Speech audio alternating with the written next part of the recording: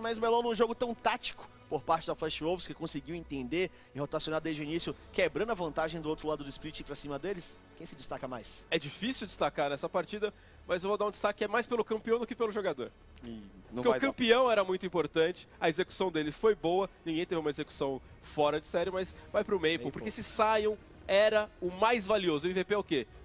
O jogador mais valioso. player. Então, tá aí.